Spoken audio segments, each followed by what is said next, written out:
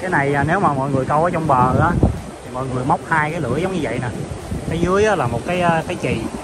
Ở đây á, thì hai cái lưỡi. Cái này cái mồi mà nghĩa câu á, là cái mồi này nè. Nó dính cá dữ lắm á. Cái bịch mà fit bay á với lại con tôm hai con đó thôi. Với lại à, câu trong bờ á, thì mọi người phải câu cái tường dài nha. 12 feet đó rất là dài.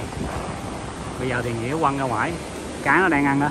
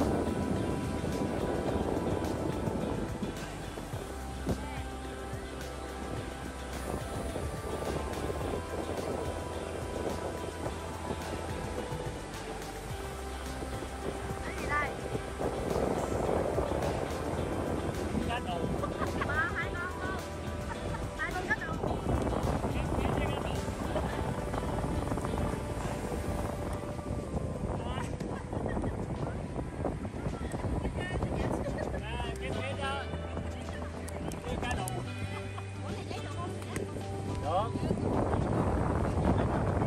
ở cá này cá này cũng ngon rồi. Ở đây ở đây cá này nhiều hả? Ừ, cá đù mà cá đù này à, cá đù này ngon nè.